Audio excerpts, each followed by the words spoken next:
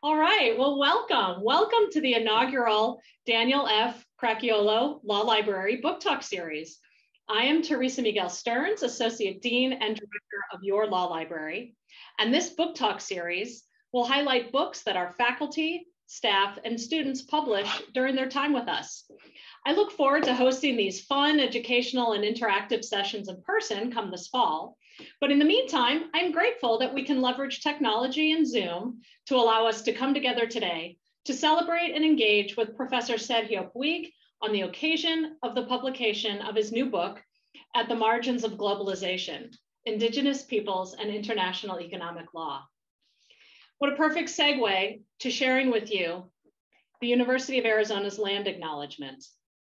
The University of Arizona sits on the original homelands of indigenous peoples who have stewarded this land since time immemorial. Aligning with the university's core value of a diverse and inclusive community, it is an institutional responsibility to recognize and acknowledge the people, culture, and history that make up the Wildcat community. At the institutional level, it is important to be proactive in broadening awareness throughout campus to ensure our students feel represented, valued. Professor Sergio Puig joined the University of Arizona T. Rogers College of Law in 2014. He is a professor of law and director of the International Trade and Business Law Program. His academic interests include topics related to international economic law, international arbitration, law and society, network analysis, and law in the legal profession. Prior to joining Arizona Law, Professor Puig taught at Duke and Stanford Law Schools, where he was the Stanford Program in International Legal Studies Teaching Fellow. Professor Puig also worked for over three years in the Young Professionals Program for Lawyers and Scholars at the World Bank Group and ICSID, the International Center for Settlement of Investment Disputes. He has practiced law in leading law firms in Mexico City and Washington, D.C. Professor Puig also co-founded TradeLab.org, an online community-based platform to facilitate legal assistance and services related to international trade and investment matters. Professor Puig is in conversation today about his new book with professor and dean, dean through June 30th of this year, at the University of Colorado Law School, James Anaya. Dean Anaya served on the law faculty here at Arizona Law from 1999 to 2016 and at the University of Iowa from 1988 to 1999. Additionally, he has been a visiting professor at Harvard Law School, the University of Toronto, and the University of Tulsa. Dean Anaya has taught and written extensively on international human rights and issues concerning Indigenous peoples. Among his numerous publications are his acclaimed book, Indigenous Peoples and International Law, and his widely used textbook, International Human Rights, Problems of Law, Policy, and Process. He served as the United Nations Special Rapporteur on the Rights of Indigenous Peoples from 2008 to 2014. Dean Anaya has also represented Indigenous groups from many parts of North and Central America in landmark cases before domestic and international tribunals. Among his noteworthy activities, he participated in the drafting of the United Nations Declaration on the Rights of Indigenous Peoples. So Professors Puig and Anaya met here at the College of Law about two weeks ago to record their conversation about Professor Puig's new book. And we will have an opportunity now to eavesdrop on that conversation, which is about 20 minutes long. And then we'll come back together as we are right now for a live question and answer session with Professor Puig. I think the best way for Professor Puig to host the, the, the, the Q&A is to create a queue using the raised hand feature which you will find under the reactions button at the bottom of your Zoom screen. I will also monitor the chat and pull out any questions for Professor Puig from there. We will end the formal portion of this book talk at 1 p.m., but Professor Puig is happy to stay on until about 1.15 to discuss the book and his work. So please join me in welcoming and create and congratulating Professor Puig on the publication of his new book. And if we were live and in person, oh, there's a lot of hand claps. Terrific. All right.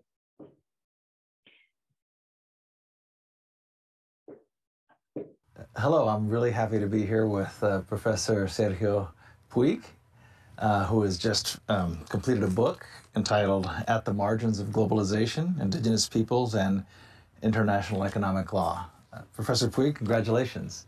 Well, thank you. Thank you so much. And uh, thank you for being here in your house and uh, at this beautiful place in Arizona. And thank you for inspiring the, the book because you really did. You inspired this book, and I'm very grateful that you had a chance to come to this presentation. Well, I'm really happy to be here in, in, in, in uh, Tucson at the University of Arizona Law School. As you said, it's sort of my house. I spent many year, years here as a faculty member, so it's great being back and having this chance to talk to you about this this wonderful project. Um, as you mentioned, I've done work on Indigenous peoples, and I've really enjoyed the conversations that we've had. I've, I've learned a lot from your insights, and I mean, you're you come from this topic from, uh, as an expert on international economic law. Uh, that has really been your core subject. Uh, is that fair to say? And then you branched out and into this um, this intersection, I should say, with uh, Indigenous peoples' rights. That's right. Uh, my, the the core of the book is precisely that. Right, try to bridge uh, the gap that I saw uh, between these two strands of scholarship. One uh, focus on the rights of indigenous peoples that comes from business and business and human rights, and then the the, the more traditional rights of indigenous peoples mm-hmm. scholarship that you know basically you being part on developing, and the the whole project I think had a little bit of a a seed, right? When we, uh, or I was, uh, I had a chance of travel with you uh, to different places where we were observing mm-hmm. processes of consultation involving business interests. Right. Right. A, a, a, process of consultation with indigenous people. Right. And and I, I invited you to come along because of your expertise on on business law in the international sphere. One of those projects that we looked at was in Costa Rica. Um, it, well, it had to do with uh, consultation uh, regulation that was being developed in the context of business enterprises such as mining and other extractive and major projects. And then the other uh, project uh, was in Mexico in the Juchitan Peninsula, had to do with a wind farm, and that was impacting indigenous people. So, so tell me about uh, how your interests in this book uh, relates to, to those two situations that, that we that we were able to, to share and examining. Absolutely, and thank you for the question. In fact, one of those, uh, it's a, a, case study in, in the book, right? The, the case of uh, the windmills in uh. And in essence, what I perceive with this uh, exercise of consultation is that there was a need to understand better how business law and indigenous rights have to share this space, right? This, this and what are the limits of the rights of investors or what are the limits of the rights of uh, traders when are in the presence of uh, groups like indigenous peoples. And I, I found that there was very little written, right? Uh, mm. There was uh, barely any mention in the literature.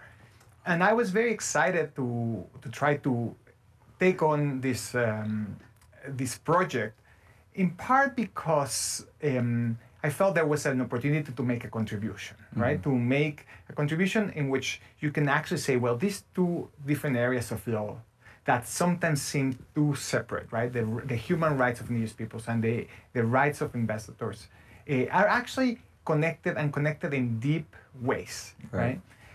And I think that that trip to Juchitan was yeah. the beginning of it, right? uh, right. Our consultation in, in Mexico. Right. So let's let's, let's dig down uh, a little bit on this. So the rights of investors, right? Those are in investment treaties and that uh, imply obligations that governments have for uh, investor toward investors, right? right. Um, and then on the other hand, you have indigenous peoples who have rights that the government, uh, uh, at least in theory, is bound to to respect. And so so, so tell us about how these these thing uh, these two areas intertwine in a case like Juchitan. Yeah, that's uh, absolutely, I think, a key question in today's understanding of uh, both human rights law and uh, investment law, right? I think how these two areas or different areas of law actually uh, interact. I think in a case like this, I think governments should be aware that while they have some commitments, as you will said, that are um, expressed in bilateral or international uh, economic agreements like bilateral investment treaties, they, that doesn't mean that they can uh, ignore the protections and the duties that they have towards indigenous peoples. Mm-hmm. So the, the, the, main question is how to harmonize and uh, adopt policies that while they conform with uh, their uh, obligations, they also do not breach the investment uh, treaties. And uh, the main aspect that I would say here is that governments have a lot of policy space, right, to mm-hmm. act in accordance with uh, their um, treaty commitments under human rights law. So, in other words, governments shouldn't use or shouldn't uh, believe, right, that they are limited by the investment law treaties uh, to avoid taking on or avoid complying with their uh, commitments towards mm-hmm. indigenous peoples.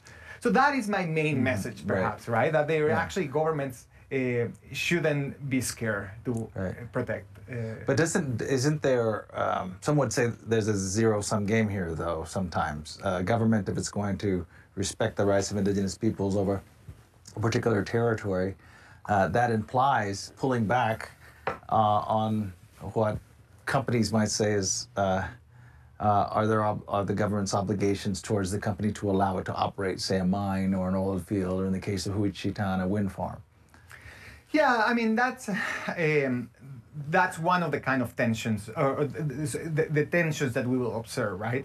So governments may um, see this as a zero sum, when in fact I think most often is not uh, the case. I think what uh, groups that feel uh, marginalized or not taken into consideration, like indigenous peoples in this case, they don't they don't want to be um, a burden or anything like that. They want to be participate participate on mm-hmm. on these projects, and I think like that was uh, uh, something that became clear to me uh, through this project that governments I think can do much better by integrating in the decision making mm-hmm. the indigenous authorities, right. right. That basically this is um, an area where have um, well this, this is a, this is an example where you know with a little bit of planning, right, mm-hmm. uh, the the, the, the, the desires and aspirations of indigenous peoples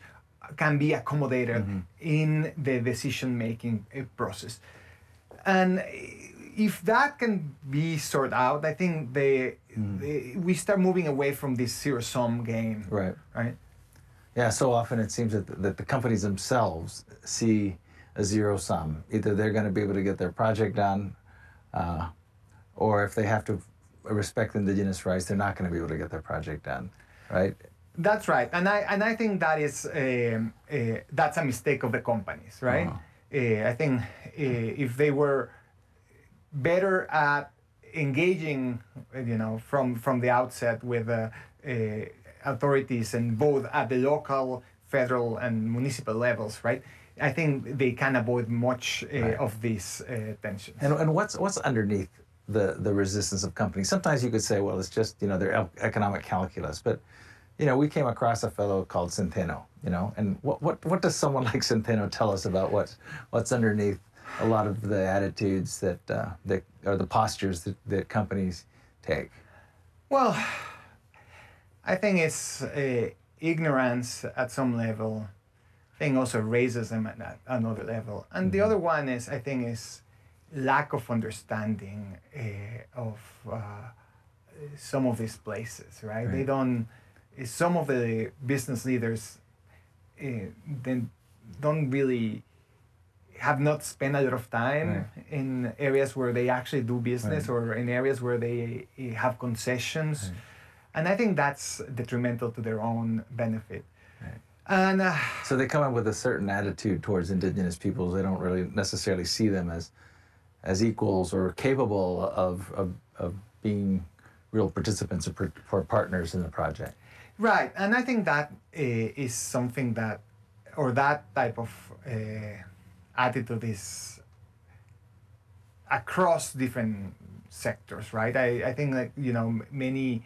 Uh, I'm sure there's many businesses that do the right thing, right? Mm-hmm. I'm sure there's this is changing, but but there's a, a, a level of arrogance where uh, that I perceive in, in right. engaging in this uh, work that business knows better, and right. I, I think we and that's part of the message as well, right? I think we will be wise to really try to learn from uh, mm-hmm. people who who really have uh, been in the process of uh, taking care of some of these the most pristine, pristine lands, right? For for mm-hmm. example, the indigenous peoples, the indigenous who are, people, who are the ones who have have lived there in the, these areas for centuries and for the centuries, who yeah, have, have guarded it. So, what what would you say the the the main audience or who, who are the audiences for, for the book? Who are you trying to reach and, and what are you trying to say to these different audiences? If, if you could just encapsulate in a few words. So I guess there is maybe two different audiences. One is the audiences of Indian rights advocates, right? Um, who I think have not paid sufficient attention to the uh, new possibilities of using different tools from different areas of international law to advance the interest of indigenous peoples. In this case, econo- international economic law. International economic law, right? So, mm-hmm. um, and here there's some examples, right? Like the case of uh, the Inuit exception that uh, was successfully upheld at um, at the World Trade Organization's appellate body, or some successes in in different areas of international finance. And I think that it's something that we can, you know, or indigenous advocates can rely more, right? Like engage with international economic organizations to advance the rights and interests of indigenous peoples. At the same time, I think I wanted to make much more aware the um, scholars in my field that a way of understanding globalization without indigenous peoples, it's a way of understanding um, just part of globalization. We actually don't, we're not accustomed to see the, the negative effects. And one way of, uh, that we can actually zoom in into the negative effects of globalization is by seeing uh, the most vulnerable of our mm-hmm. our um, members. Mm-hmm. Uh, and sadly, and I think this is also uh, one of the messages of the of the, the book, that without really trying to understand the structural issues in our international economic frameworks, we won't be able to resolve the deep uh, distrust that we have mm-hmm. against international trade and economic law.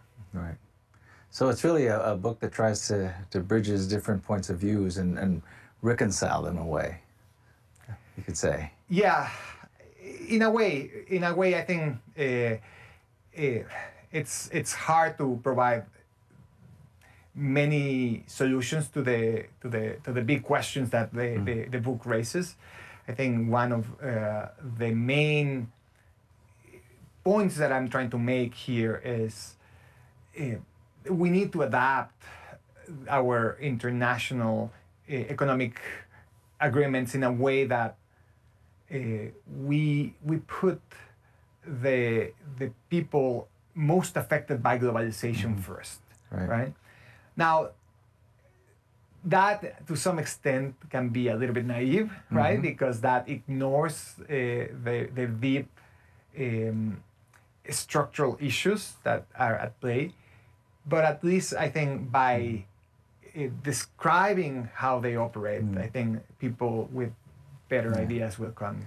And, and, that's really the innovation of the book, isn't it? I mean, you have a vast literature and a lot of thinking and a lot of politics around uh, the global economy and all these bilateral, multilateral investment treaties and a lot of activity uh, around them. But the issues of indigenous peoples and human rights that you're addressing really are, are as, as the book says, uh, they're, they're at the margins, right? And so that, that you're trying to bring them in from the margins. We are trying to uh, recenter, right, yeah. the, yeah. the conversation in a, in a way that brings the uh, indigenous peoples into the um, to the center of this conversation. And I think we are uh, at an interesting time, right? And you know, I think uh, we're facing right now a pandemic. We're facing also this climate uh, calamity coming, right, Right. are already affecting us. And I think it's time to to find solutions that can actually be um, not only sustainable, right, but also that address uh, the the most vulnerable of, of us. And I think that's part of what I I wanna. Uh, the, that's how I wanna move the conversation. Yeah, right? with and, and with these calamities, we, we many of us tend to just be so centered in our own world and what's around us, right? And and it's easy to to forget about the the the out of sight and and and the people who are are not as not as well off. You and I were able to have this conversation because we've both been vaccinated, fully vaccinated, and Right. so we're able to have a conversation without masks. But um, so many in other parts of the world aren't able to do that, including uh, indigenous peoples throughout the world. Absolutely, and I think the same has happened with the conversation around international trade, right? Like, um, you know, with the vaccine, right? This vaccine nationalism that you see, right? It's like we, you know, this is for us. We don't export anything, and you're right. I think like that is the the reaction, right? That uh, with people or governments are in these uh, situations, right? That you know they they face new challenges. The first uh, reaction is like, well, we'll we'll address them, and we have to take care of, you know, our uh, populations. But I I, I think that it's uh, myopic, right? If, Yeah. we, if we don't really uh, address, you know, basically from a more inclusive perspective, what all these issues that are actually interconnected. Yeah. hmm And that and that's again is is a theme of the book, right? The these issues that are put to the margin or people who are put placed at the margins really showing their centrality or putting them more towards the center and demonstrating the interconnectedness of the concerns that they have.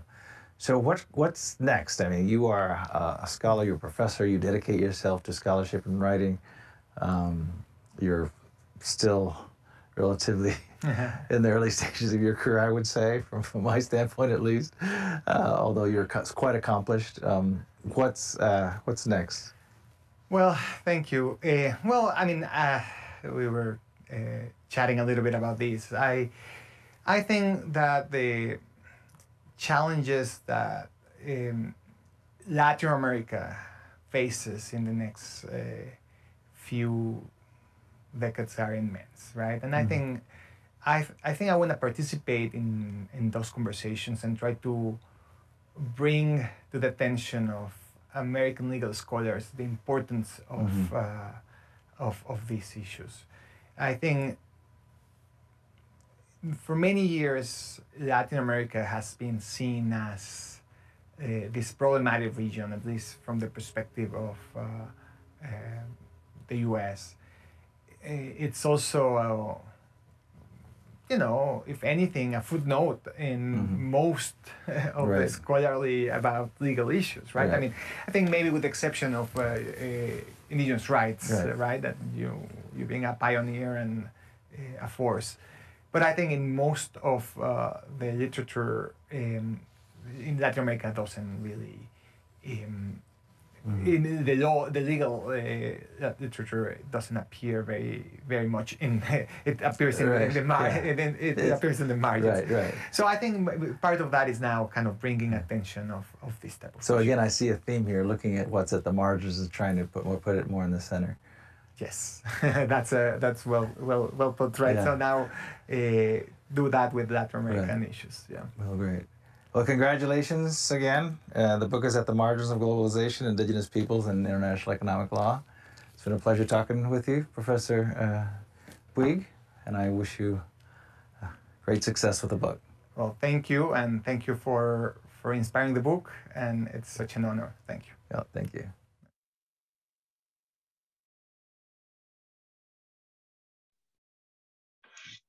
All right. Well, thank you, Professor Puig and Dean Anaya. Um, and we've already got some questions in the queue. Professor Puig, I will silence myself and I'm going to just let you manage the queue at this point. Well, thank you. And thank you everybody for being here. It really, it's an honor. And as you could see, I was a little bit overwhelmed by having a, a Jim and I uh, commenting or discussing the book. So sorry if I was a little bit nervous, but it's understandable. Uh, so why don't we start with uh, maybe with Rebecca, who is also another force. Hello, Sergio, and con huge congratulations on the publication of that amazing book. I look forward to reading it. Your discussion was wonderful with Dean Anaya. Um, I personally am very interested in the intersection of environment and then the controversy over development versus conservation. And obviously that's a planetary discussion, but it's also embedded in um, President Biden's 30 by 30 plan. So, so we're thinking about indigenous lands and territories in relationship to development and capacity. And so much of the, um, the action in climate change and kind of analysis is in Latin America. So I'm, I'm just really curious about your thoughts about that nexus um, and, and then the status issues with indigenous peoples, like here, they do have forms of sovereignty that they can govern lands. Um, I'm not sure how that's working in the various Latin American countries. Um, but with respect to development, that struck me as important. And I didn't, I didn't know the reference to the Inuit case that you and Dean Anaya were talking about, because I know that's another area of huge climate impact um, and will be transformative in the next um, decade or two. So again, these are questions I have. I, I look forward to reading the book, but any initial thoughts would be so welcome. Yeah, well, thank you so much, uh, Rebecca. I think that is, I think, one of the main tensions that I see. And to be honest, this is uh, uh, my my thinking of this has evolved, right, a lot. I think when I started the um, the, the, the the book project, or at least the, when we started doing the consultations, this is I think the first consultation that we had, uh, attended was in 2015. Uh, my thinking that was that basically indigenous advocates or indigenous communities and environmental um, interests were aligned. And it's often the case that they are not, right? Uh, for good reason, right? So in many ways, there is some reminiscence of an environmental movement, especially still prevalent in some parts of Latin America and other places, that is kind of um, very dismissive of the uh, preferences and sovereign rights of indigenous peoples, right? Like, so, oh yeah, we want this land to stay uh, pristine uh, for our enjoyment, right? For our parks, for contributions, for our CO2, um, you know, diminish uh, diminishment, right? Or whatever is uh, the, the the benefit that it can provide for for other uh, other people outside. I think what I, it was clear to me that um, the alignment of many indigenous communities wasn't there, right? Their beliefs, I mean, they, they really, what they wanted is to have a better, more control over their resources and uh, perhaps use them in ways that uh, benefit the communities. Uh, with a little bit of skepticism, of course, of these traditional narratives of development. Um, so I think you're right. I think that is the tension, and I think we'll see it as well with um, uh, even with a progressive administration like that is coming, uh, because you know it, it's going to take some time to address these questions, and I think you're right. I think at least in in the U.S. with the the way that the tribal sovereignty works, I think there's much more power on the uh, on the communities. I think in Latin America, many of these issues are decided by very centralized authorities with very little um, knowledge of uh, the realities uh, in the local. Although this is also changing, and I think I was happily involved in the Constitutional Commission in Mexico, and I think this is one of the areas where authorities been transferred. And I think that can help navigate this, but this is going to take some time. So I, I, I, I think you're pointing into the, the key issue for the next 30, 40 years of, um, uh, I think, indigenous rights advocacy. Right? Thank you. So maybe uh, Christine. Thank you. Sergio, I can't wait to read this book like Rebecca. Big congratulations. This is really amazing. Um, today in my last human rights class, we actually talked about uh, businesses and human rights. Um, and for me, it's a fascinating subject. My, my um, uh, sort of case study for the students was looking at private military and security companies.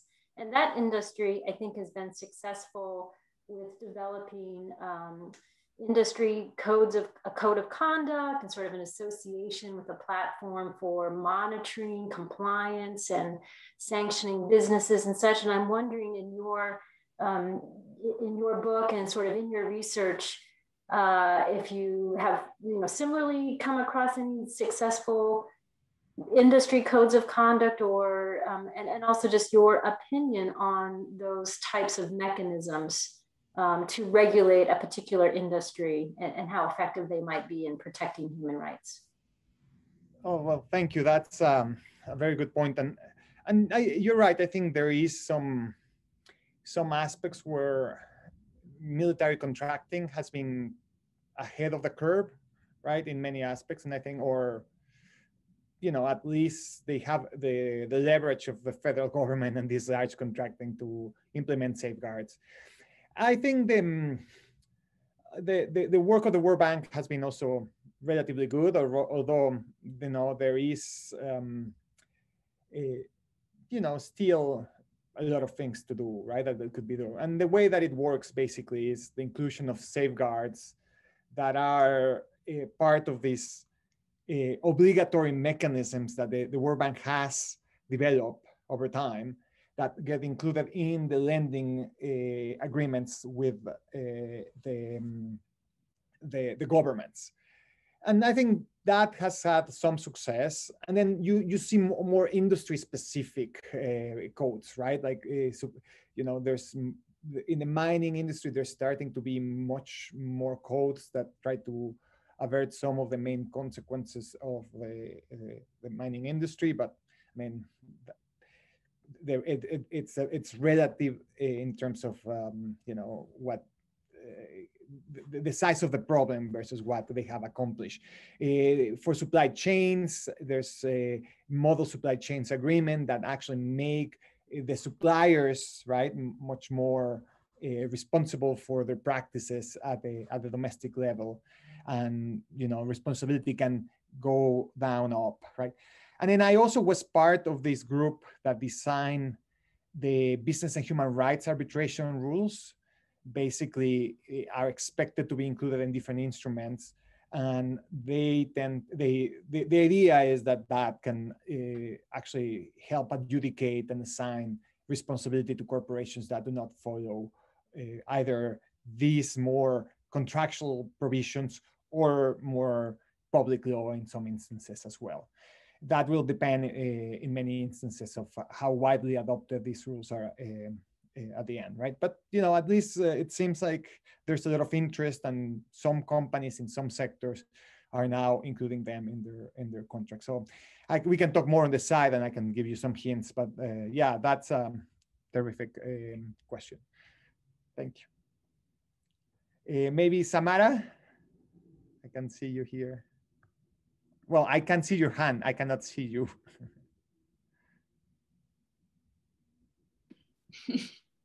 um, hi. So I, I know that everybody wants to hear from Samara, not me, but I'm um, actually the one who wants to ask the question. Um, and I actually, I kind of want to ask two sort of related questions, so I can I can try to do that really quickly, and then have you address both, maybe. But can, before that, can I ask you to identify yourself? yeah, uh, my name is Alan Dicker. I'm a second year student. Oh, nice. Thank you. Um, so I, I just I, I kind of wanted to go back to to your conversation about whether this is sort of zero sum or not, and um, and the first thing I wanted to ask is just about sort of how you see um, situations where the issue is not so much sort of a consultation process that an indigenous community wants, but the ability to like withhold consent.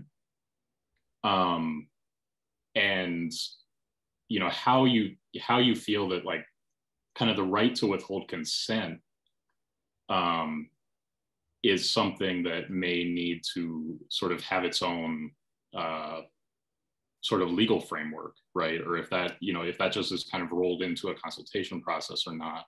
Um, particularly thinking about situations where some of these projects and everything are already like in fairly advanced development stages where people, you know, companies have already gotten licenses and things like that, which sort of puts, I think, indigenous communities a lot of times like on a very une- unequal playing field um, with these companies. Um, and and the second thing that I kind of just wanted to ask about um, is, you know, whether you sort of advocate um, in, in terms of of these kind of international sort of economic agreements and frameworks um, in particular and sort of laws of general applicability, whether you advocate for an indigenous right to consultation in the creation of those hmm. um, international laws and frameworks because i think that that's another way that sort of indigenous communities go into the consultation process already on very unequal footing from these companies that have a lot of ability to influence those sort of general applicability laws. Yeah. Well thank you for both questions that uh, seem to be really well informed of the reality on the ground. And I, let me start with the second. Actually, the second question, in some way, was a little bit of the motivation of the uh, of the book, right? Or was part of the motivation of the group. Uh, to what extent we should have um, a duty to consult international trade and investment agreements with indigenous peoples, right? And I think that was a key question that I, I was thinking in part because the special rapporteur was thinking about the, the past special rapporteur, uh, Victoria, um, whose last name right now escapes me. Oh, that we, that, uh, sorry for, for missing her last name, but um, she actually did a report on the effects of trade and investment agreements. So part of my question was, well, should we require uh, the uh, the, the, the, the consultation on trade agreements. And then there was the position of the Inter-American Commission, actually, that said, you know, basically they did, they do, right? They, they require some. And my my point is, I think it depends, right? It depends in. I I, I think there is ways in which the the negative impacts of trade agreements can be lessened, and that and that may you know help sort out which ones have to be uh, you know consulted and which ones are not going to be consulted. But th- that's part where i i discuss it i have a, a, small section of the book where i discuss this question. Um, and i think it's a complicated one right? But i think it's a motivating question of the of the book. I think the second one the first one which i'm addressing second now um, i think i i i wrote an article with uh, professor anaya on that topic and I think the, you know, yeah, I think the duty to consult exists and it exists whether you include it or not in trade agreements. And I think, you know, governments have that duty to, to, to consult when they, their decisions substantially affect indigenous peoples. Um, I think the, the, the, um, the, the tribes, the indigenous peoples have the, the, the right to uh, withhold consent, right? And I think it's uh, completely the right and the decision the, question, I think, is what is the effect of with, withholding consent? And I think there's some debate here, right? And some advocates, and I don't think there are many people who advocate this. They say, well, that veto the project itself. Um, the position that I took with uh, Professor Anaya is like, is, is, is different, right? That uh, uh, uh, withholding consent doesn't veto a project. What basically is, um, it creates the, um, and it creates a, a, duty now of, of governments to uh, to ensure that there's no violations of human rights because like the, the lack of consent or uh, proceeding with a, a, a process uh, or um, um, proceeding with a with a project without the consent is not per se a violation of human rights.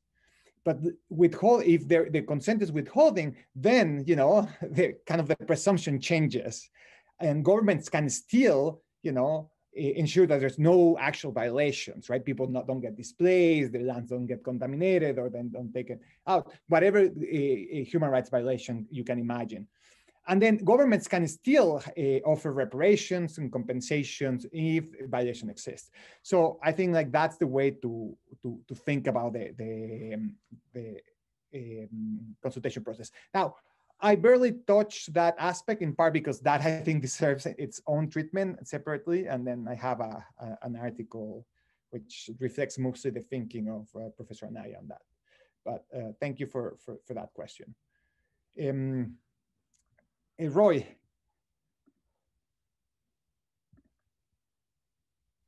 Roy, you're muted. Okay, here I go. What theories of government or philosophies of government are most likely to lead to respect for indigenous rights? And is this a uniform uh, matter or does it vary? And you sometimes find more authoritarian governments actually protecting their local people? Well, I mean, I I don't think I know enough to answer that question. I think that is a, a big question. But but I let me tell you a, a little bit of the big idea that the book has, right? I think the big idea that the book uh, has, in my view, is that basically the um, the current model of globalization is also the result of uh, political and economic ideas, but sustained in an idea of a Western culture of individual choice. Or maybe, you know, it's just the illusion of individual choice, but with re limited responsibility for people and especially for corporations. I think this culture, in turn, it makes it very easy to ignore the way in which the systemic features of trade, investment, finance, and intellectual property agreements tend to marginalize different groups, which remain very vulnerable to the rapacious behavior by or that implicates implicates commercial actors, very often with the involvement or tacit or implicit acceptance by governments. And I think while many of the legal mechanisms that underpin globalizations have also adapted thanks to these pressures, right, by indigenous advocates and by the pressures, I think, of democratic governments, including uh, the US government, uh, you know, many indigenous peoples remain vulnerable and marginalized. Um, and this is because they're failing to sufficiently accommodate the indigenous interest or by accommodating them in a way that is an afterthought, right? Mostly by creating exceptions that allow governments to create programs that support indigenous peoples, but not really forcing the um, states, right, the governments to take actions uh, and in a more active way.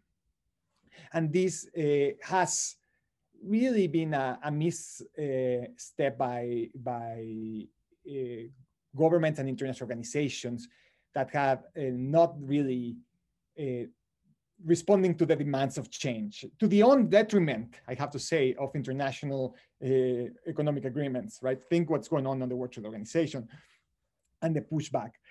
And I think like one way of thinking ahead, right, is what could these institutions do better? Well, I think like they can learn from indigenous peoples, right, and uh, learn to respect the distinct beliefs uh, about and forms of economic organizations, right? Like how uh, economic organizations happens in multiple different ways. They could have an active commitment with self-determination, and you know, again, right, more democratic governments have an, a more active commun com commitment with self-determination, including communal self-determination. And I think this is the key aspect that I think will uh, be the battle of the future, right? How to recognize individual and corporate duties towards our planet uh, and future generations. And I think like this is the way that I try to think a little bit about this issue, right? Um, uh, that we need to rethink the way in which we include some of these ideas in trade agreements. Thank you. Professor Puig, I received a private chat um, question from a member of our audience. Um, and so here's the question. How should multinational corporations and jurisdictions or countries that do not recognize indigenous peoples and their rights enter into concessions on exploitation of natural resources in bilateral investment treaties?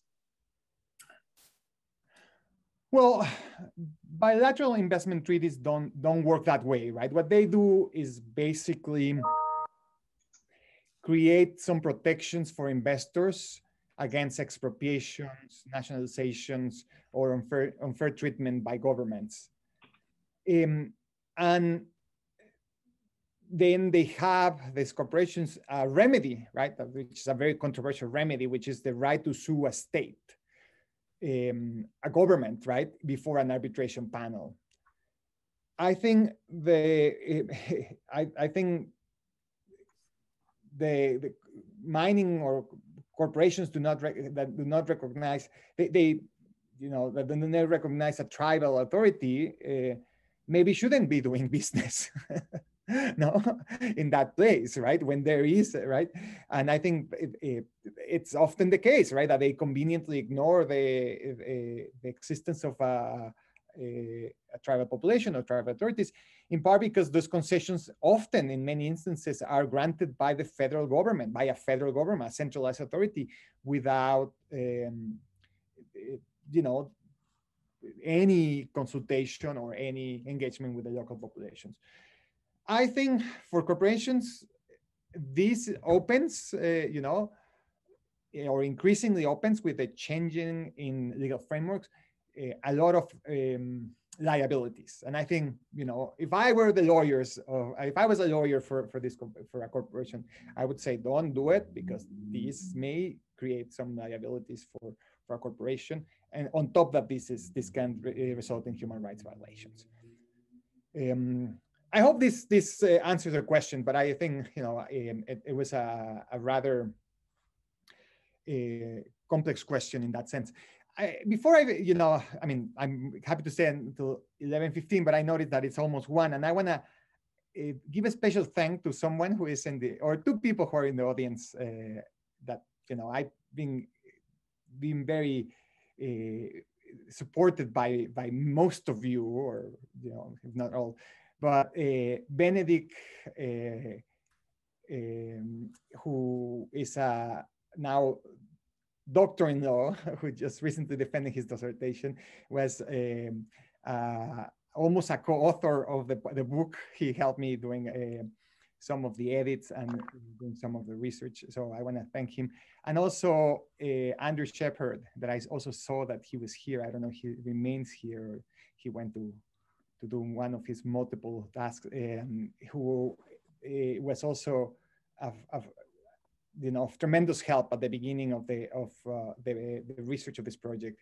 He basically helped me digesting the complicated world of uh, intellectual property and indigenous rights. So I just wanted to say that before we finish and thank them uh, publicly for, for, for their help and support the, the pro, uh, project.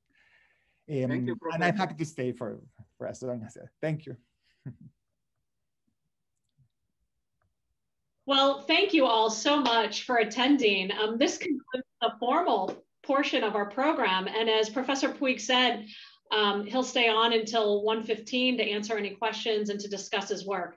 But many, many thanks to you, Professor Puig, and to Dean Anaya for coming uh, together to discuss your new book. Many congratulations on, on its publications on its publication. And, and thanks to everyone for attending today. And I, I'm really looking forward to doing more of these book talks with our, with our community um, in the fall when we're hopefully, most of us are, are back together, maybe even in person, where we can gather in a classroom um, and, and share the, the amazing scholarship of our faculty, our staff, and our students as well. So thank you all so much.